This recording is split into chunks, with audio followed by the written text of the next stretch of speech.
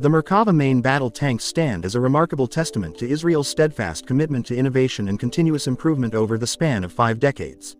Originating as a response to the vulnerabilities exposed during the Yom Kippur War in October 1973, where Israeli tanks faced significant challenges and losses to anti-tank missiles, the Merkava evolved into a cutting-edge force on the modern battlefield.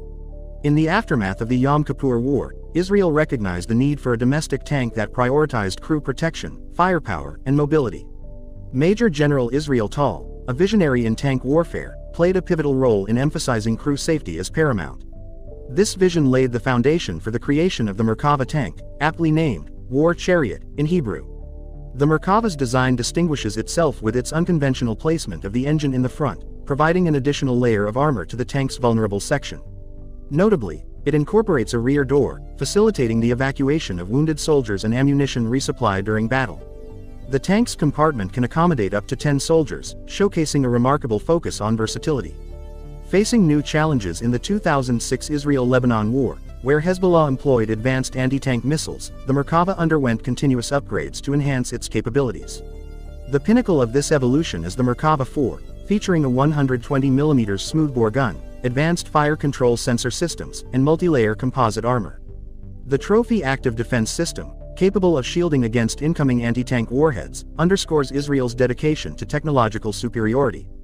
However, the Merkava faced a unique challenge on October 7 when Hamas used a small unmanned aerial vehicle UAV, to target and destroy one. This incident reignited debates on the role of main battle tanks in modern warfare. The ongoing conflict in the Gaza Strip serves as a crucible for testing Israeli army tanks in urban environments, presenting significant challenges due to confined spaces. The IDF's response to anti-tank weapons, especially those employed by Hamas, is closely scrutinized as the conflict unfolds. Hamas, armed with various anti-tank weapons, including the potent 9M133 Kornet, has developed tactics to circumvent Israel's Trophy active defense system. The covert nature of the conflict makes it challenging to assess the effectiveness of these tactics, leaving military analysts in a realm of speculation. Despite vulnerabilities exposed in recent conflicts, the Merkava remains a cornerstone of Israel's military capabilities. Ongoing upgrades and adaptations are underway to address emerging threats, ensuring the tank evolves to meet the challenges of an ever-changing battlefield. The Merkava stands as a symbol of Israel's resilience and commitment to safeguarding its soldiers.